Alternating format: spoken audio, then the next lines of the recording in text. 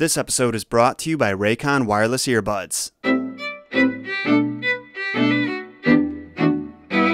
What is going on, Solo fam? My name is Jon Solo, and today we're talking about one of the world's most famous nursery rhymes with a shockingly disturbing origin story London Bridge. I mean, it's not as disturbing as Fergie's use of the nursery rhyme, but it's pretty damn close. Chances are, if you're watching this video, then you've heard this classic song. Maybe you've even sung it yourself while playing the game at recess or gym class. After all, the lyrics and melody are pretty easy to remember. London Bridge is falling down, falling down, falling down. London Bridge is falling down, my fair lady. But have you ever stopped and asked yourself what London Bridge is falling down was actually inspired by? Or why the bridge was falling down so often? Or why a fair lady had anything to do with anything? Whether you have or not, I'm sure you're wondering now, which is good because that's exactly what we're talking about today. In addition to sharing the various versions of the song from across time and around the world, we'll also be discussing some theories about what those lyrics could possibly be referring to. As always, make sure you hit that like button before we get started, as well as subscribe for new content just like this on a regular basis. And now let's dive into the messed up origins of London Bridge.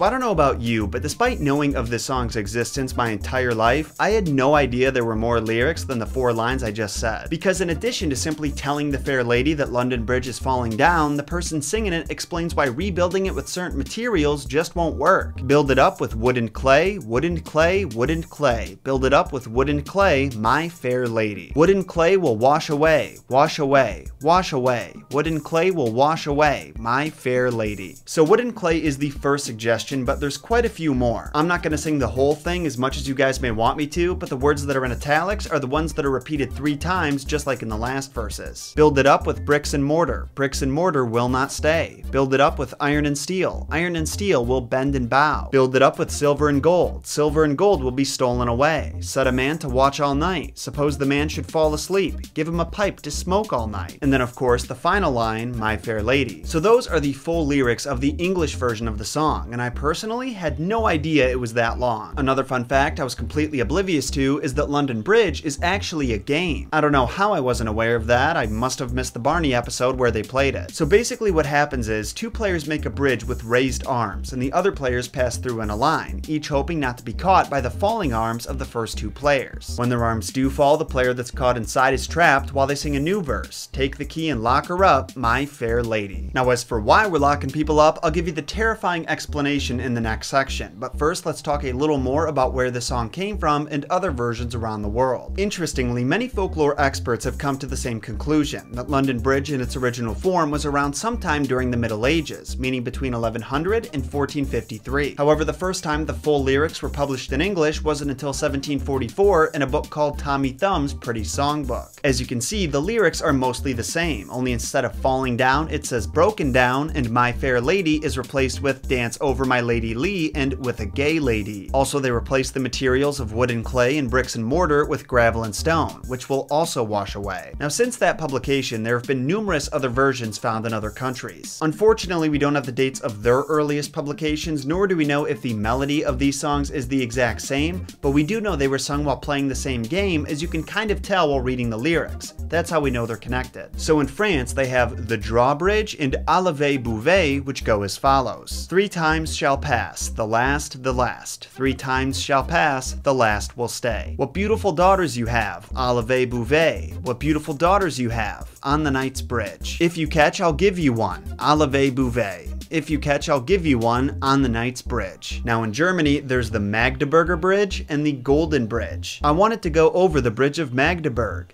It's broken. Who broke it? The goldsmith, the goldsmith, with his youngest daughter. Let's rebuild it. Using what? Using what? Chains and rods. Get everyone across. Get everyone across. We will catch the last one. I will have it rebuilt. Using what? A ring of pearls and stone of gold. What do you give me as a pledge? The hindmost that you can catch. Shout out to solo fan members Catherine and Sarah for those respective translations, and also for having the same names as two of my three sisters, but spelled different. So it kind of sucks that I can't give you guys the exact dates of when these songs were written, so we're not 100% sure which came first or how they influenced each other. But I'm sure at this point you're noticing a trend. All of these songs talk about bridges in various states of disrepair, as well as catching one of the people going across. Once again, we can't say exactly why that's a key part of every song, but when you find out the leading theory behind it, it's pretty much impossible to forget.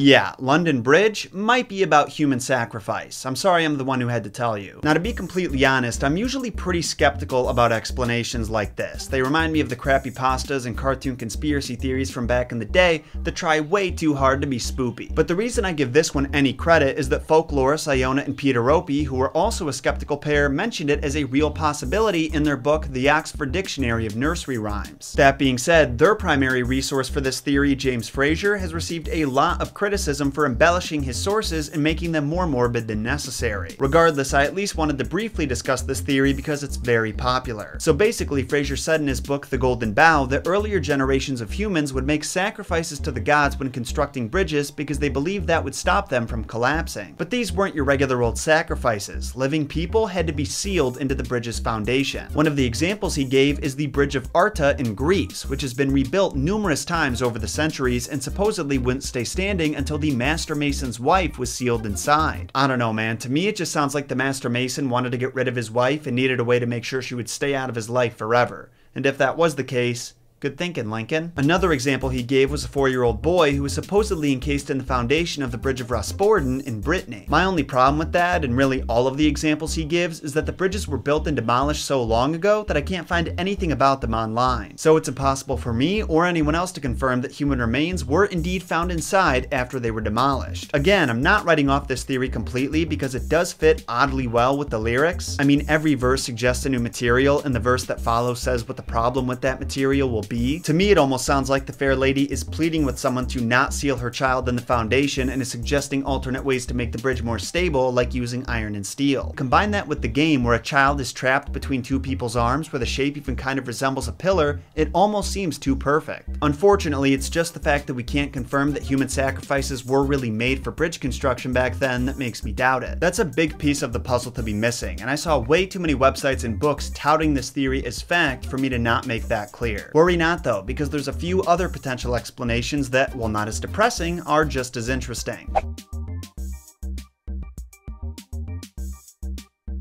There's another rendition of London Bridge that I haven't mentioned yet because it pertains to a specific theory, that Vikings were responsible for it falling down. There's an old collection of stories about Norwegian kings written by Snorri Sturluson in 1230 called Heimskringla. And before you Viking enthusiasts even bother to comment, I am very aware that I butchered those names. The point is though, that collection included a poem about King Olaf II of Norway destroying London Bridge in the year 1014. The English translation, written by Samuel Laing in 1844, goes as follows follows. London Bridge is broken down, gold is won in bright renown, shields resounding, war horn sounding, hild is shouting in the din, arrows singing, mail coats ringing, Odin makes our Olaf win. Now before you get too excited, the original verse was not written in that melody and format. Samuel Laing purposely mirrored the style of London Bridge's falling down with the intention of making the Old Norse poems more memorable and accessible for the people of that day. That being said, it is very interesting that there's a written record of the bridge being broken down hundreds of years years before the English lyrics that we're familiar with were published. I would say it's worth mentioning this is the only record of that event that's been found, so there is a chance the author is either embellishing or even spitting straight fiction, but the timeline does fit. It supposedly happened right at the start of the Middle Ages, which is when folklorists believe the London Bridge game was invented. Now this last theory is definitely the least flashy, but in my opinion, fits the lyrics very well. For those who don't know, the first Great Stone Bridge was built across the River Thames in Britain in 1176. And as you might imagine would happen with the first stone bridge of this size, its design was nowhere near perfect and it went through some serious maintenance on more than one occasion. The first time was actually because of what was built on it. When the bridge was finally finished in 1209, it became the choice spot for both commercial and residential purposes. But only three years after its completion, a massive fire destroyed all of the houses and businesses that were built on it, and 3,000 people were killed. You would think that would serve as a signal to the Brits that maybe they shouldn't be stacking so many buildings on top of each other, but nah, they were all immediately rebuilt and life went on as normal. Over 70 years later, in 1282, five of the bridge's pillars collapsed from the pressure of winter ice, but the bridge itself remained standing and those pillars were rebuilt. Then, almost 500 years later, some more construction was done with the intention of making the bridge, which at this this point was showing some serious signs of deterioration, stronger. They replaced two of the central arches with one big arch, but this idea backfired because it led to serious erosion from the river and gravel having to constantly be poured in to protect the bridge's remaining piers. In other words, London Bridge was breaking down, breaking down, breaking down, and eventually maintenance became too much of a hassle, so a new bridge was built in 1831, with the original being demolished the following year. Fun fact, that newer bridge also went on to be replaced, and after being dismantled, was brought over to Arizona, where it still stands to this day and where I'll be standing in just a couple of days. Now, like I said, in my opinion, these events fit the lyrics very well. The bridge is constantly undergoing maintenance because it's falling apart and different solutions are being suggested. And what really stands out to me is that unlike the other theories, there's a possible explanation for why, after rejecting the ideas of using iron, steel, gold, silver, etc., having a person watch over the bridge seems to be the solution. I'm obviously just spitballing here, but to me it sounds like the song could be a discussion of how to avoid future calamities like the Great Fire that took place only a few years after the bridge was built. Making the bridge stronger sounds like a good idea at first, but what's really needed is someone to stand guard and warn the people on the bridge that danger is afoot, whether that's a fire or the pillars underneath collapsing. The only real problem I can think of with that interpretation is that it doesn't take into consideration the game where somebody gets trapped, but maybe there's a version where the person isn't trapped per se, but rather selected to be the watchman? Probably not. I'm most likely just trying to cram a square peg into a round hole, but to a certain extent, isn't that what all these theories are doing? everyone.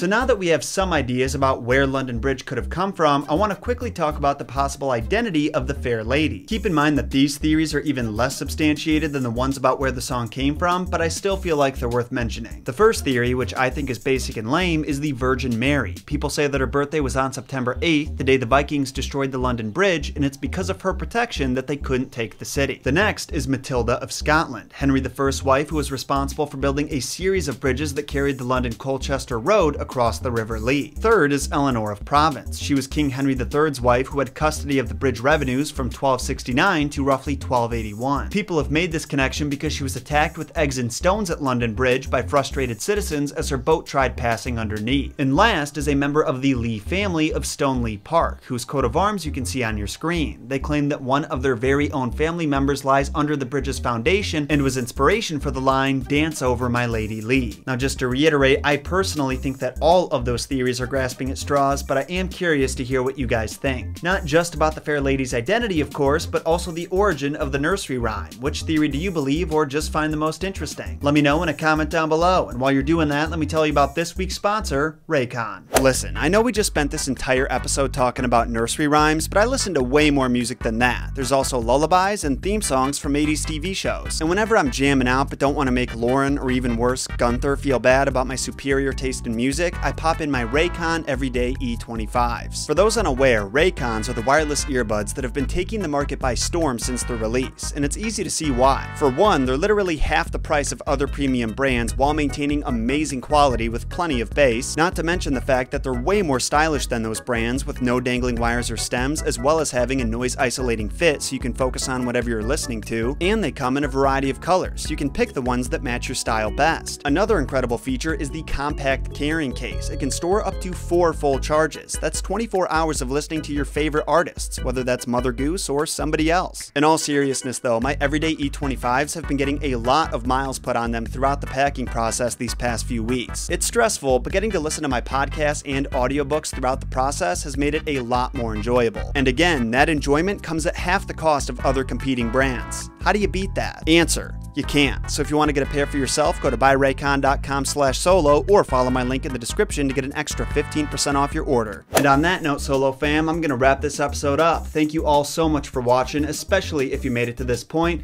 Now don't forget to hit that like button and subscribe for more messed up content on a weekly basis. As you can tell from the lack of you know, pretty much anything behind me, I'm actually in the middle of getting ready to move to one of COVID-19's favorite states, Arizona. With that in mind, I do still have some messed up content planned for next week, but it's not in the form that you'd expect. So keep an eye out for the launch of our new series, Messed Up Minute. I really think you're gonna love it. And if you want to tune into our incredible journey across the states, I'm not exactly a travel vlogger, but I will be keeping you guys updated via social media, so make sure to follow me on Twitter, Facebook, and Instagram. Also follow Gunther too, because he's gonna be stuck in his car seat for about about three days, and he might need some DMs to slide into to stay entertained. Isn't that right, Bubba? You said you got some pickup lines you want to try out? Yeah, That's what I thought. That's what you told me, right? Is that what you told me? Once again, I'll be seeing y'all next week with our first official episode of Messed Up Minute. Until that day comes, though, my name is Jon Solo, and remember, Jon shot first.